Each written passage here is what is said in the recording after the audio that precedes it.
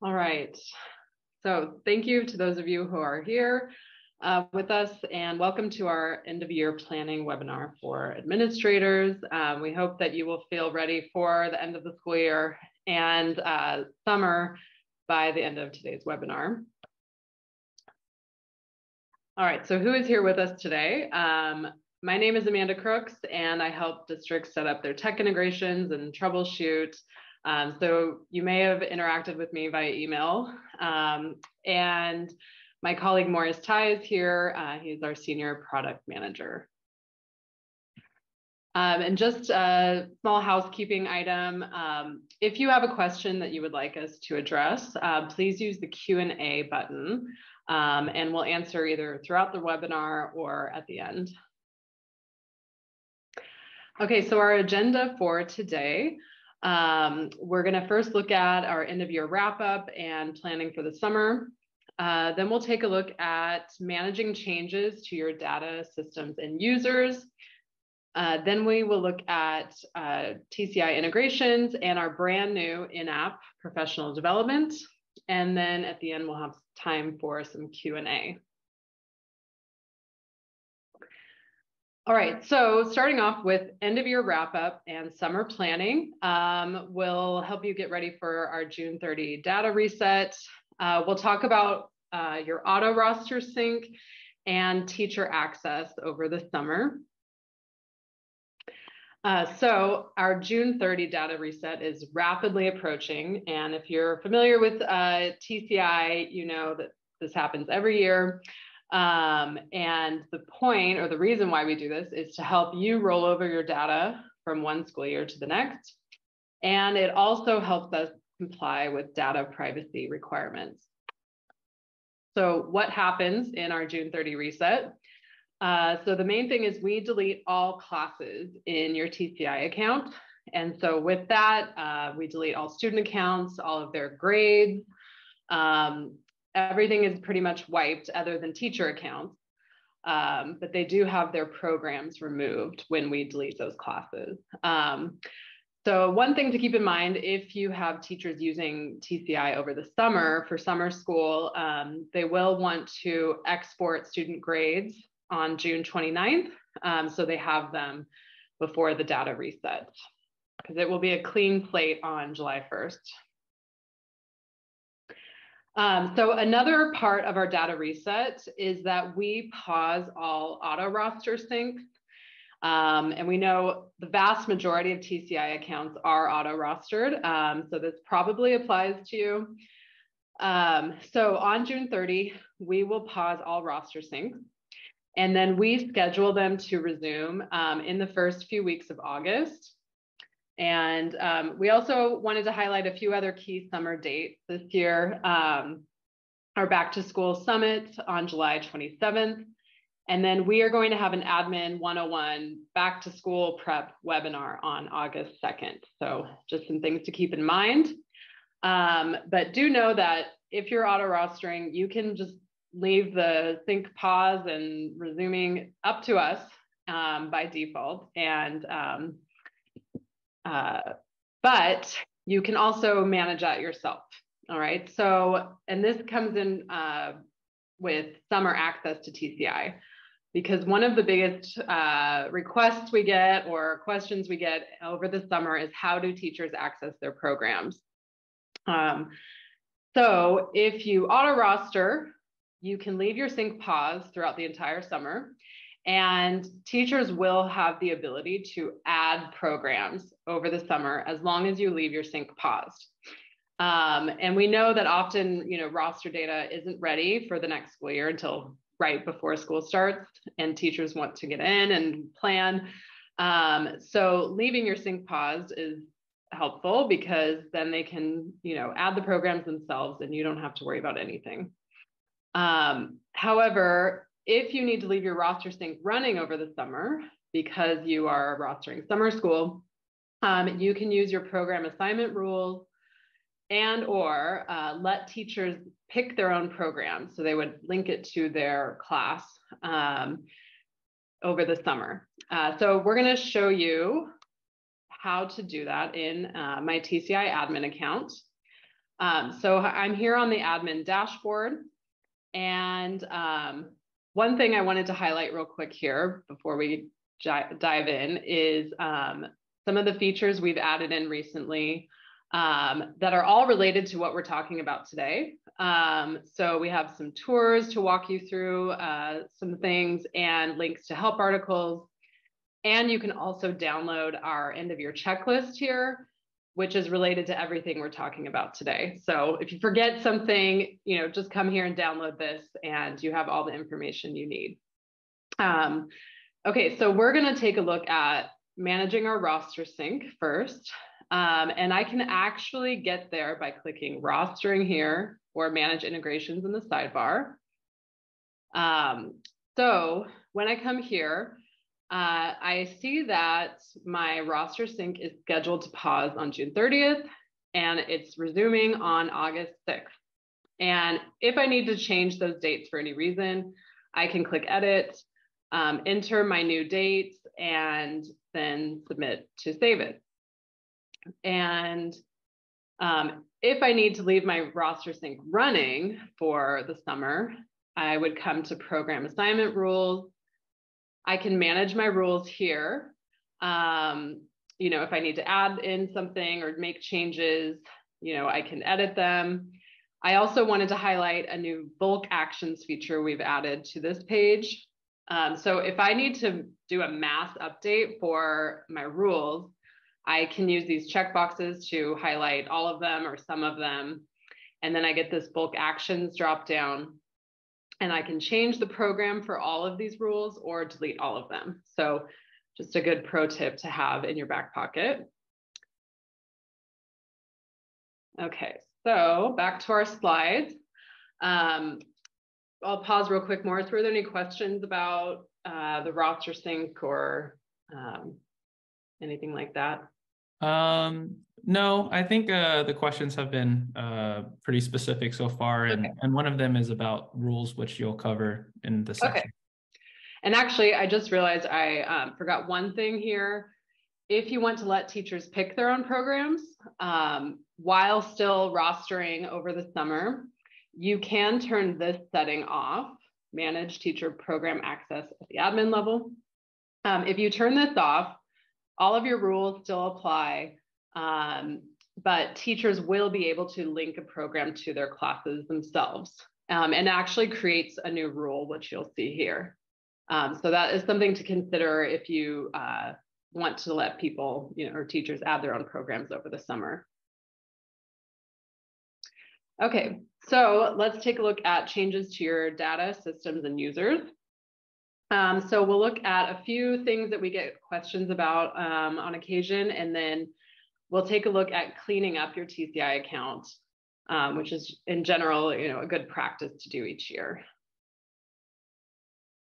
All right, so um, there are a few things that we get questions about, and we wanted to highlight those because there are some of these things that you can do entirely yourself in your TCI account, and there are some things that you need to contact us about first. Um, so, you know, often we get districts switching between roster apps, like between Clever and ClassLink. Um, you can do that yourself in your account. And districts that have multiple email domains for teachers, um, this is relevant typically if you have LTI single sign-on and teachers have different emails between, you know, signing in and how they're rostered. So there's a way to manage that in your account. Um, if you are going to change your district email domain or SIS, uh, we do ask that you contact us at info at teachtci.com first uh, before you make the change, just so we can manage it and make sure it's a seamless transition in your account. Okay, so I'm going to go back to my admin account. Um, and we are going to take a look at um, editing your roster app first. So I'm here on the manage integrations page. And to switch your roster app, you actually can just click edit here um, and select your new roster app and go through the setup wizard um, all over again. And that's really all you need to do. Um, you will want to look at your program assignment rules too.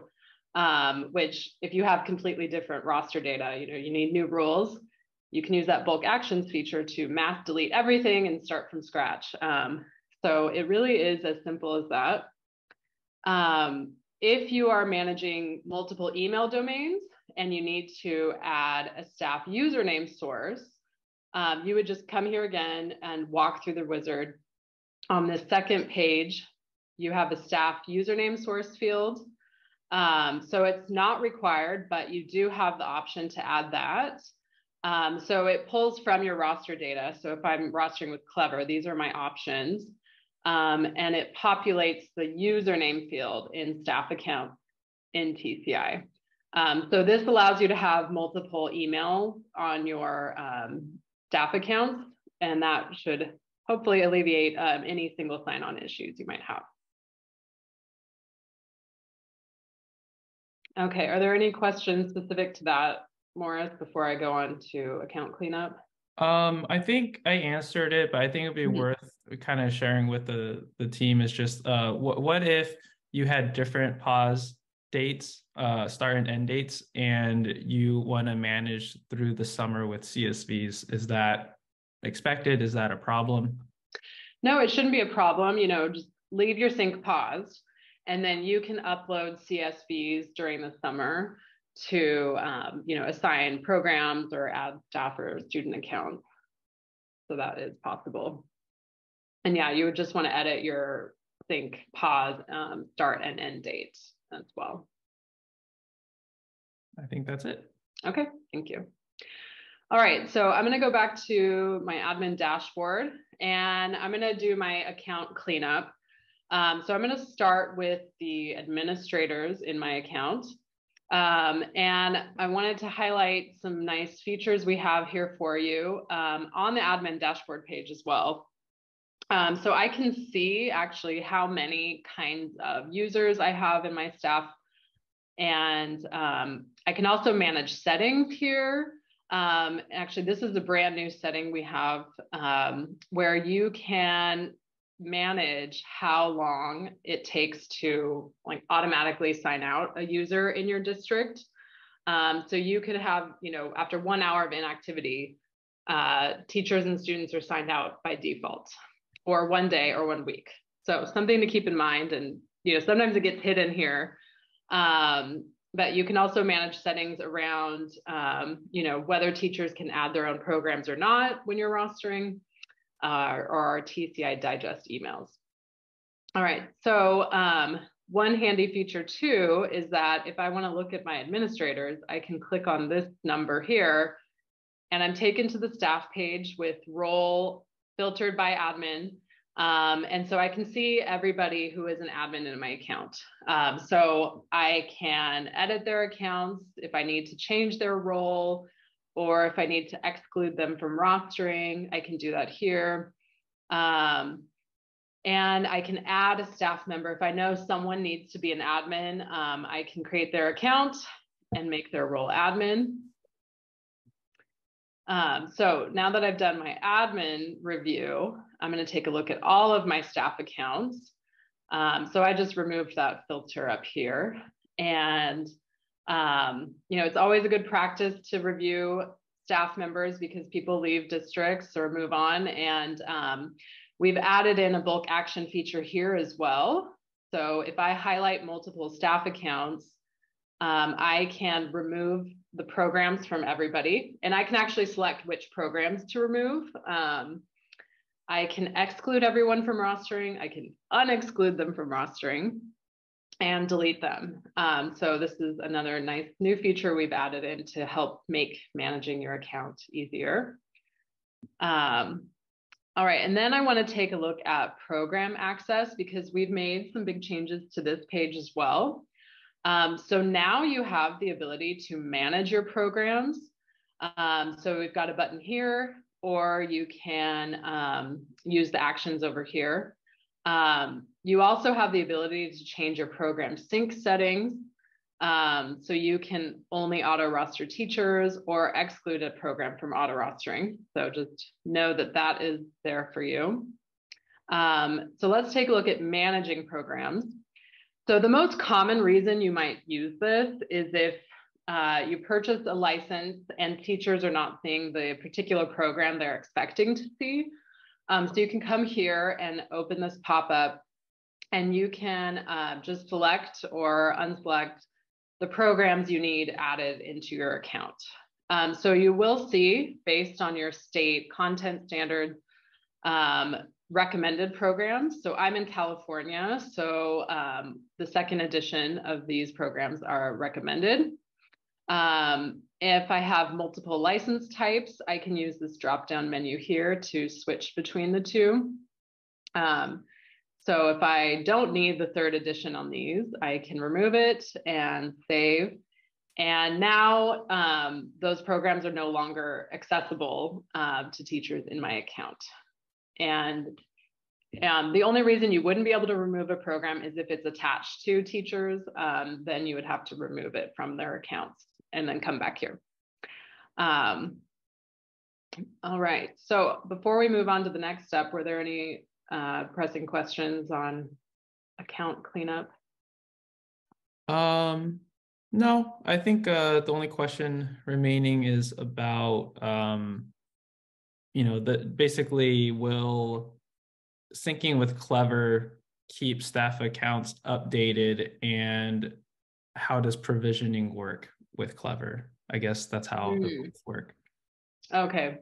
Yeah. So if you are um, syncing with Clever um, and TCI, then provisioning would work through program assignment rules. You know, you can set that up based on your um, roster data. So, you know, when you add a rule, you can select a number of criteria.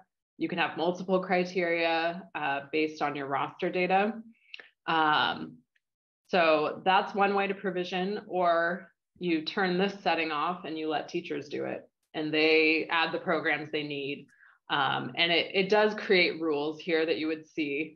Um, so it kind of just depends on how clean your data is. You know, is it easy to just use course numbers or, um, you know, if it gets complicated because you have, you know, unique course ID for each teacher, then um, you might want to consider letting them add their own programs. All right, so I'm going to hand it over now to Morris to talk about integrations in our in-app PD. All right, thank you. Um, so uh, more questions are still coming in and uh, Amanda will take care of those as quick as she can, but this is also a good time because most of them are around integrations. So I'll take some pauses and answer some questions along the way as well. Um, so for this section, I'll be covering our integrations from rostering to single sign-on to learning management systems like Canvas and Schoology. And also end up on a new feature that we released for teachers, and we have some uh, goodies in there for admins as well related to professional development. So if you haven't been familiar with our integrations already, um, we do have two very popular roster integrations supported, Clever and One Roster. With One Roster, you probably uh, are familiar with ClassLink, one of the more popular um, applications out there using One Roster. But more and more, um, we're seeing other applications supporting the One Roster API, sometimes directly from the student information system. So Aeries, Infinite Campus, Skyward, those are just some of the SISs that um, created support directly for one roster API. You don't have to go through ClassLink. So these roster integrations are great. Uh, I'd say at upwards of, you know, uh, 80, 90% of our accounts um, are created with integrations. And so I, I definitely recommend looking into them uh, if you're not already using them. Um, and I'll, I'll mention at the end of the webinar our help center, which has really good resources uh, to get started on your own. In terms of single sign-on options, we I'm going to highlight four of them. Uh, they're the most common ones that we get requested. Um, with Clever, if you're auto rostering with us already, there's no additional setup required.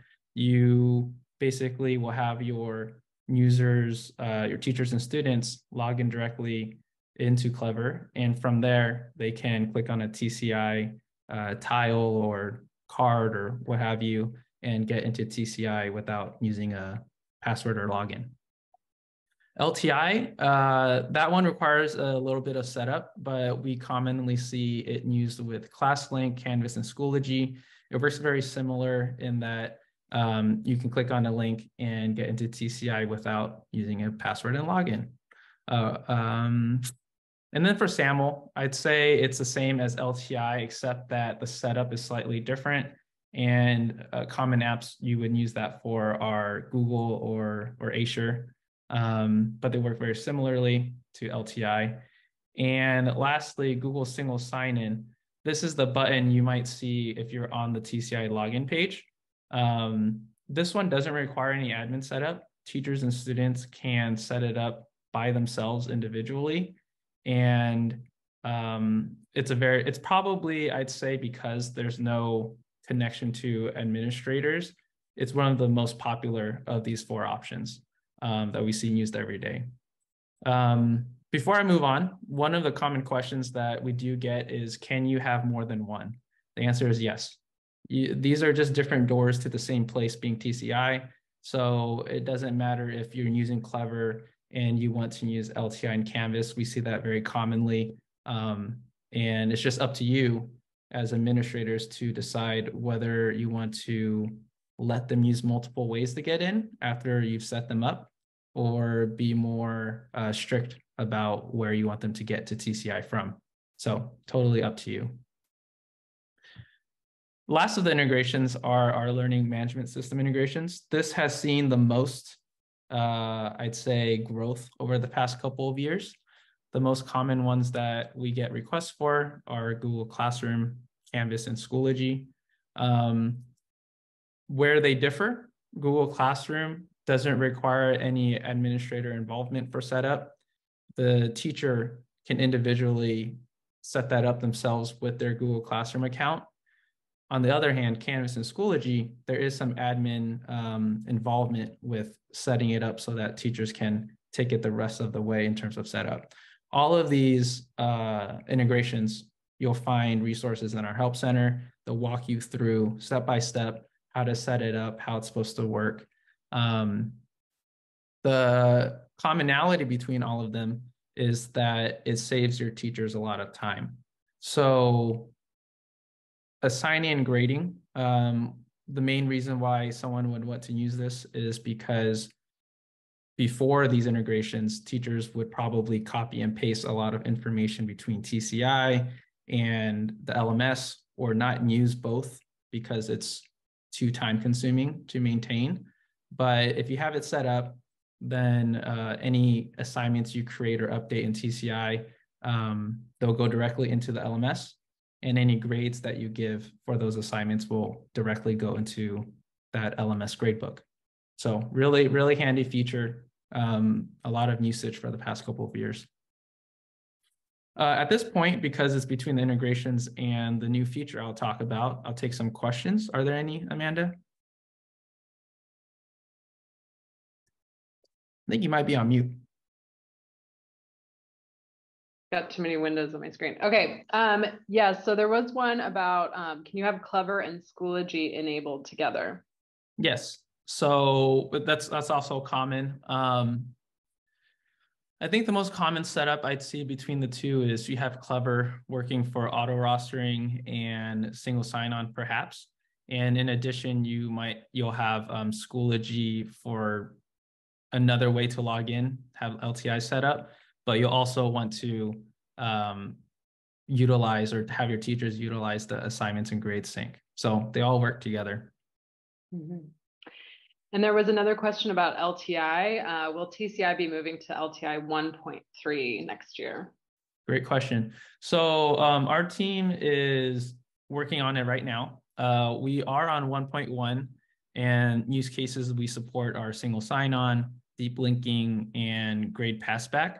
However, with 1.3 being the newer version, more secure version, um, we're working on upgrading to 1.3 and also um, using LTI Advantage, especially for the uh, grade passback extension and the deep linking extension. Um, so the answer is yes, we're upgrading. And if you use LTI now, it should get better by back to school. Mm-hmm. And then one more question um, about do ClassLink and Google Classroom work together? ClassLink and Google Classroom. You know, that one's less common, but uh, we do have districts using them together. So ClassLink is similar to Clever in that you can use it for rostering and sign on with LTI. So those use cases can still work in addition to um, Google Classroom, your teacher, if they set it up, it's similar to like Clever and Schoology in that they'll use um, the LMS for just managing, assigning, and grading, and it should work totally fine. The only thing that I would mention, um, if you are going to use a rostering app like Clever and ClassLink, and you have an LMS that you want to set up LTI on, um, you want to make sure you're review like you're careful, not careful, but you pay extra attention to the teacher email address and the student username. The reason why I say that is sometimes you might have two email domains for teachers and maybe even students. And what you what the district sends us in the roster data is one domain, but then the other domain is used as the login in the LMS. Typically, when that happens, um, LTI becomes a problem in setup because um, we look at the email address to match in order to send the people into the right spot. But we have a way to handle that. Um, there is a setting and uh, in when you're setting up rostering to input how you want to set up staff usernames. It's not required, but if you have two email domains, then you should just send in the alternative or second email convention um, as a staff username. And so our LTI basically will look in the email field or the username field when um, trying to connect the teacher and it should work fine. So that's the only thing I would mention is it's it's rare to have different information between rostering and your LMS, but it does happen, and that's that's how we we support you in um, managing that. Well, and do we have any plans to support one roster 1.2? Another good question. So um, the answer is yes. Uh, we that one is more on the review side right now. Uh, still figuring out exactly what benefits 1.2 will have over 1.1, other than more modern and secure frameworks and stuff like that, um, and any potential drawbacks to upgrading. So we always want to be uh, in support of the better stable version of things.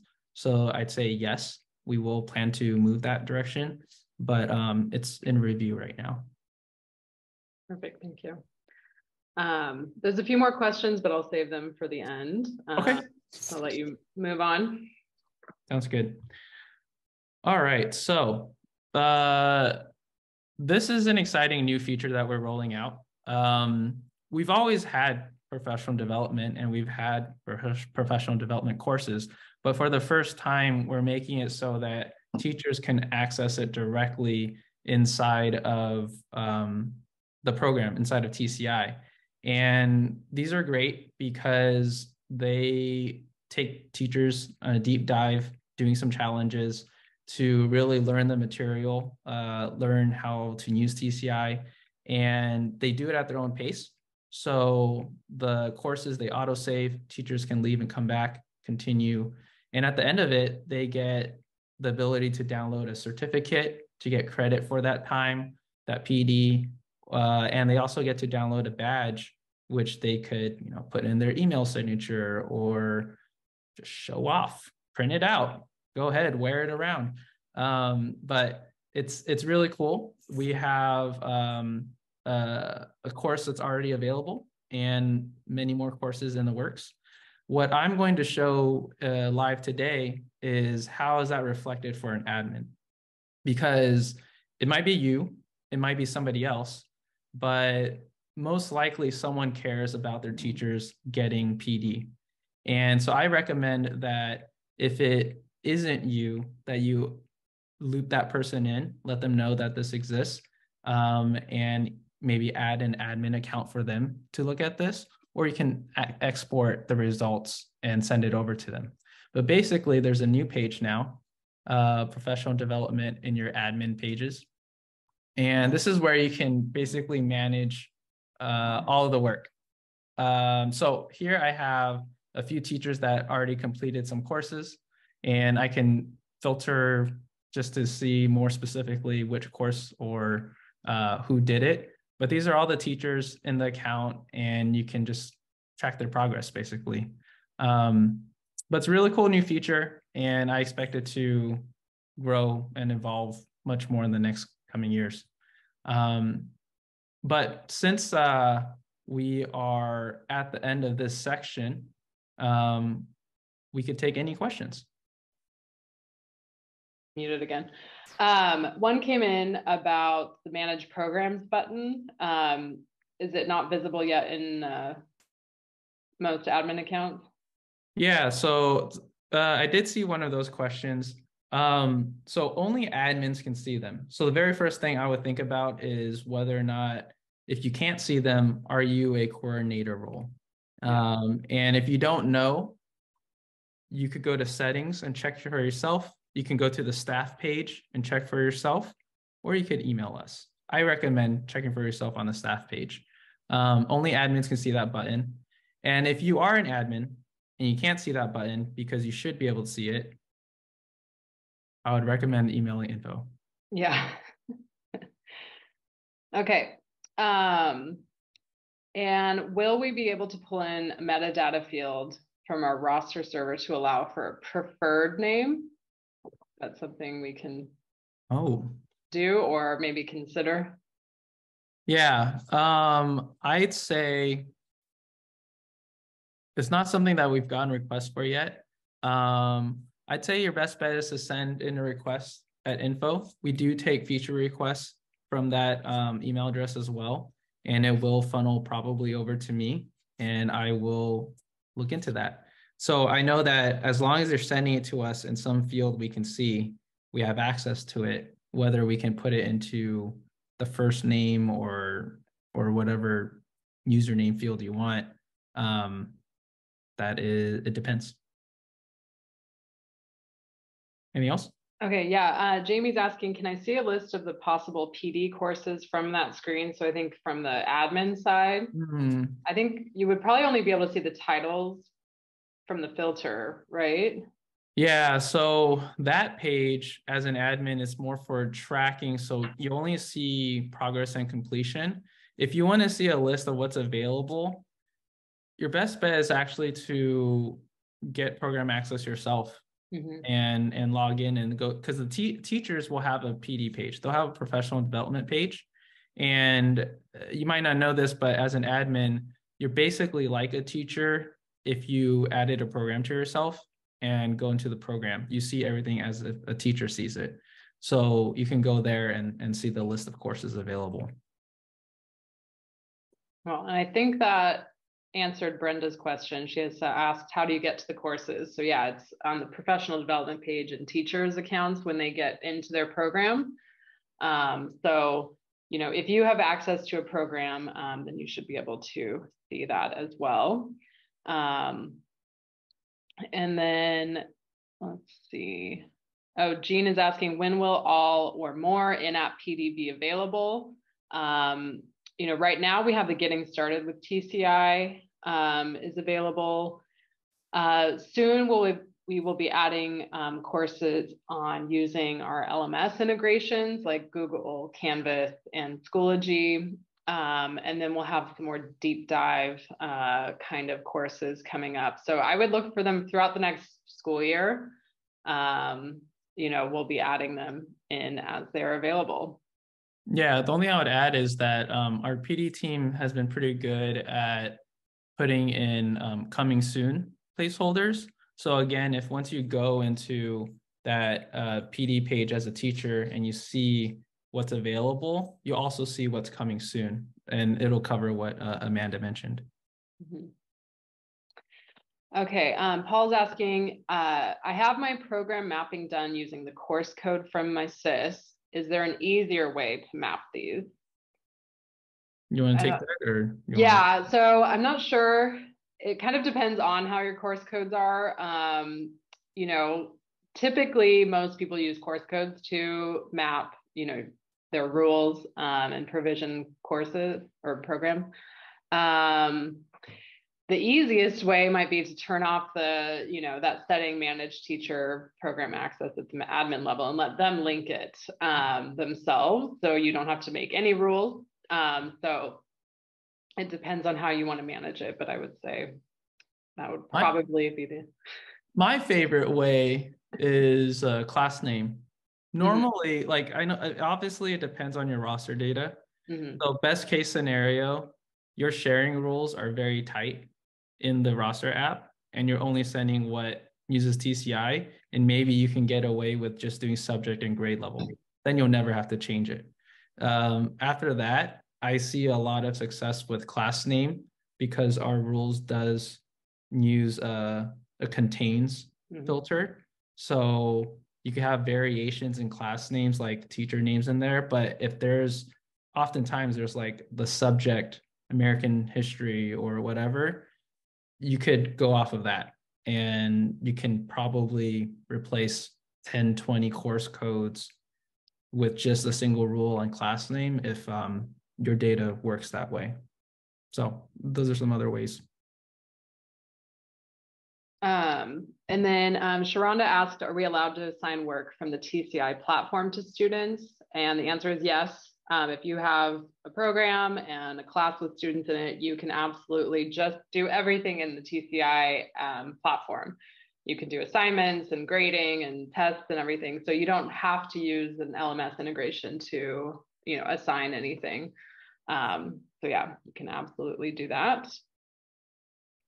And then, um, yeah, I was just addressing Rita's question too about when will newly purchased programs be added for the next school year so that we can assign program roles.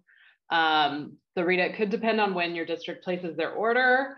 Um, if you're renewing licenses, um, you should be able to go in and add the programs you need now or the additions you need um, and start making those rules. But if you run into any issues with that, um, you know, do reach out to us at info at teachtci.com. Amanda, let me uh, go over the last couple slides and then we can mm-hmm. stay oh, yeah. your questions. Um, so one thing I wanted to mention is that our back to school summit this year is a single day on Thursday, July 27.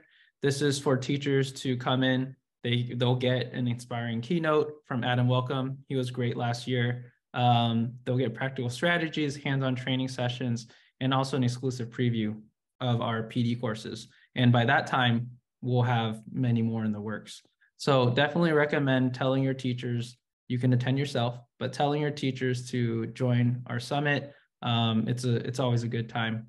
Um, and lastly, with resources, uh, th- to let you know, back to school resources you can find them on this URL. So just our regular uh, website um, with back to school at the end. You'll find resources, including the end of year checklist there.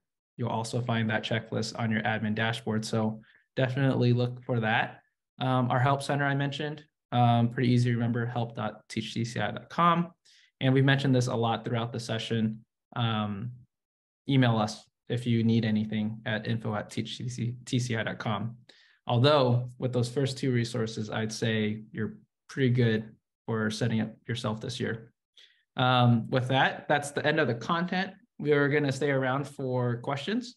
Um, so go ahead, Amanda. Do you have any more questions? Okay, yeah. Um, Teresa asked if, um, or when teachers complete the PD in their account, what does it look like for them? So, you know, they get a PDF certificate with their name on it, you know, with the course that they completed. Um, so they can download and print that. And they also will have a badge um, on the professional development page in their TCI account. And right now, that was the last question we have. So if you have any other burning questions, uh, go ahead and put them in the Q&A. Um, otherwise, we thank you for attending today and um, hope that you got what you need to be ready for the, the, end of the school year and the summer. And we hope to see you in August um, when we're getting ready for the new school year.